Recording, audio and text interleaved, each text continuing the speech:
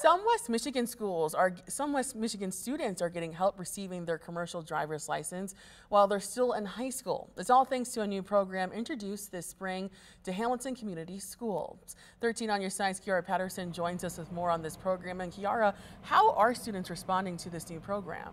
Lauren, students and especially high school seniors say this new program is a great alternative to going to college in three weeks, they're not only going to graduate with their high school diploma, but also with their commercial driver's license.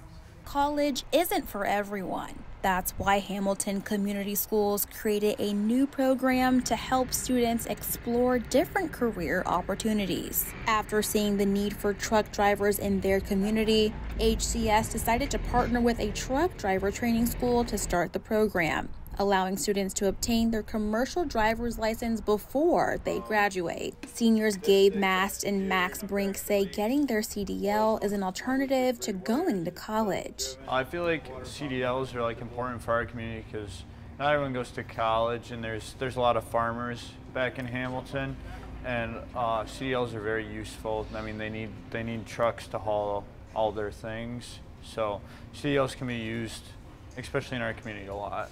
The school says there is a demand for truck drivers as the truck driving industry is constantly expanding. We know that there's a need for um, commercial driver's license for truck drivers, for excavators, for people that have their CDL for the job that they need.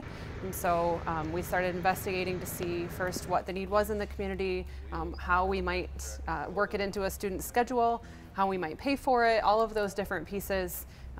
We, that was sort of our background information before we even brought it to our students. The president of the truck driver company says the average person doesn't think about getting their CDL until the age of 31. He says seniors Mast and Brink are being proactive by thinking ahead for their future. It does take special individuals to get into this industry, and with these two young men doing it so quick, uh, prior to graduation, they're really setting themselves up for the future with quick success.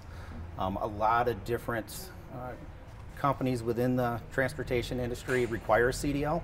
So whether it's from the excavating world to being a tractor trailer driver, um, they're setting themselves up to a really good career at such a young age. The school says Hamilton High School will also soon add a tech ed course to the curriculum. They hope to continue to add opportunities for students to explore post-secondary options. Lauren.